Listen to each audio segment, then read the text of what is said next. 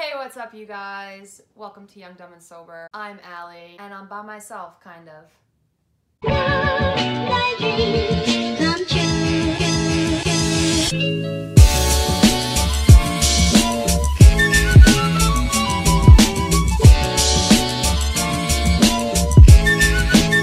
It's very uncomfortable for me to reflect. It's something that I do often.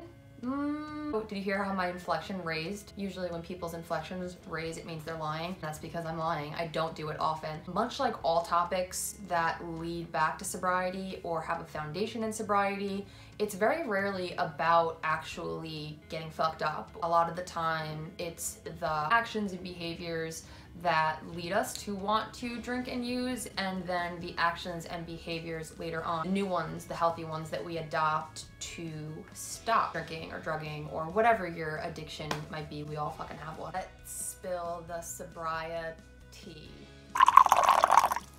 Okay. Lesson number one for 2019 is that some relationships are better left dead. Why? Why do toxic relationships last for longer than they should? You could argue that they should never really exist in the first place. Once you're in them, they can be difficult to leave for whatever reason, whether that is an addiction to drama and the chaos that comes with it, insecurity issues, and I'm speaking uh, from my own experience. Fear of abandonment, a fear of being alone, a fear of just feeling like you don't deserve better. While they might be illogical, the fears feel very real, especially when you're in the situation and when you're in the experience. The relationship, it was more draining than it was empowering.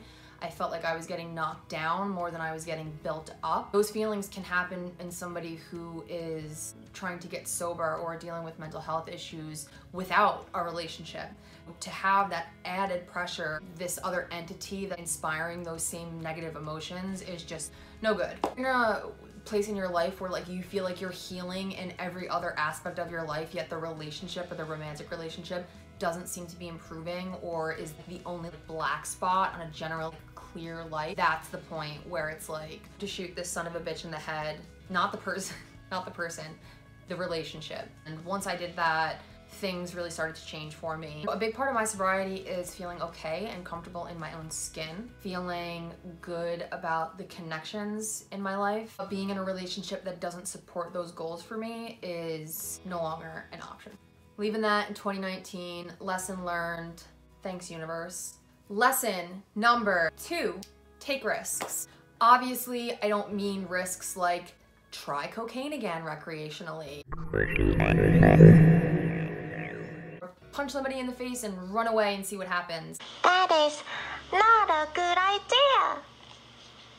I'm talking about calculated risks, risks that you have thought through and are a little bit hesitant about, but also have this horizon of growth and potential connected to them. I didn't get sober so I could live some humdrum life and not follow my goals or try and see my dreams to reality. To get sober, have this clear head and just sit around and not do anything with this clarity would be a waste. I would be stealing from myself. Taking risks for me is difficult, but also really, really fun and exciting and kind of like an adventure. I learned in 2019 that it is healthy to take risks. It can actually be very conducive for my sobriety and my mental health to go against the grain and do things that might actually scare me. Taking those risks helps me have more gratitude for the clarity that I've gained in sobriety. In the past, the kinds of risks that I would take would be dangerous or even life-threatening. Starting this channel in a way was a risk. I dedicated time and effort and energy and care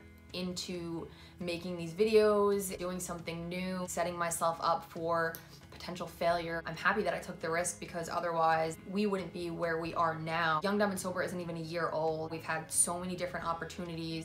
Part of that has been keeping up with that same momentum of taking calculated risks and saying yes to things that we might be afraid of, which is kind of what the channel was built on. Another risk that I took in 2019 is left the town that I had been living in for like three years. I decided to move back to Jersey City. It, it was a risk in the sense that like Jersey City and New York City were my stomping grounds. This is where I got fucked up. This is where all of my addiction took place. This is where all my drinking took place. Well, the majority of it.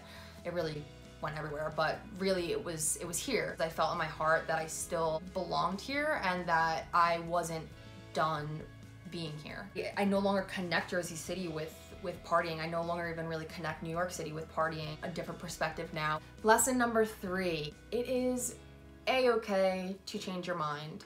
This is coming from a Libra. I change my mind a lot all the time. What do you want? Um, I don't know.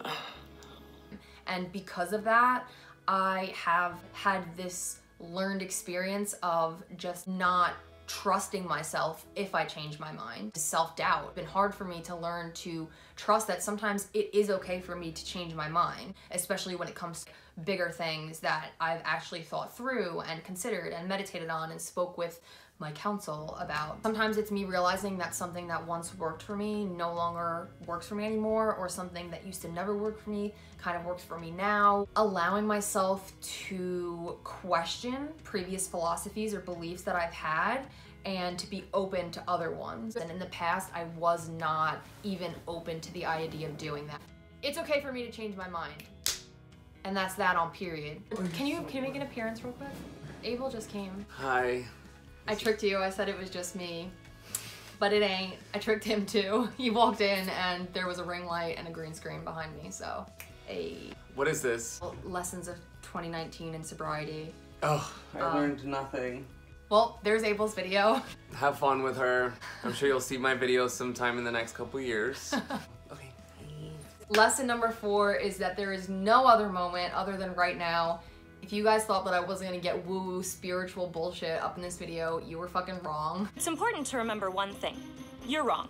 When you have one foot in the past and you have one foot in the future, you're pissing on today. It's extremely difficult for me to stay in the moment, to recognize the fact that there really is no other moment other than right now, experiencing whatever moment you're in, whether it's good, bad, any of that, or anything in between. I haven't learned how to do that in 2019. I've learned that it's something I should aim to do and something that I need to practice more in 2020. I'm filming this video, but like half of me is in like 2012 and the other half of me is in 2035.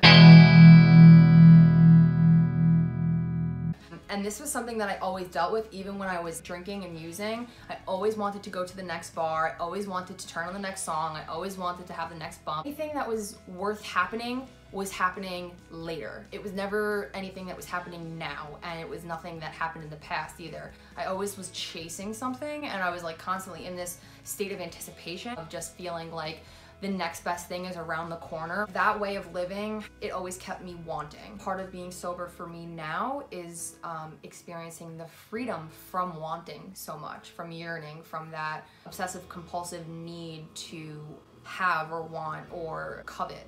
And I haven't been freed from want by any means, but I at least can live in more harmony with it. Lesson number five is trust. Just one word, trust. It's actually the um, word of the year that I chose. As somebody with trust issues out the wazoo, this is a difficult word for me to choose.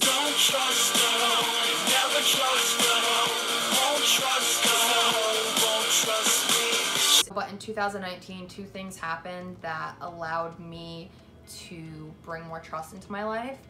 One is starting Young, Dumb, and Sober with Abel because this was one of the first, or probably the only, creative endeavor that I took on with a friend that, or in, and in general, was born and was nurtured through flow rather than force. Everything that's really happened with Young, Dumb, and Sober has been weirdly divine timing. I have no other way to explain it. Been an experience of trusting that the right people are going to come into our um, like realm at the right time, which they have, and the right things are going to happen at the right time, and we're going to be ready at the right time. Trusting that however this is meant to turn out, it's going to turn out. Going with the flow, falling in love with the process. I've learned to just like trust that things will work out when it comes to this challenge. Second thing has been that I met somebody who has helped me.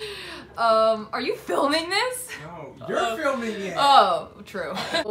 Meeting somebody and falling in love with somebody who trusts me and that I can trust has definitely done wonders for all of the things that I spoke about in lesson one about letting toxic relationships die. I just never really even believed that I would ever be in a healthy romantic relationship that had any semblance of trust.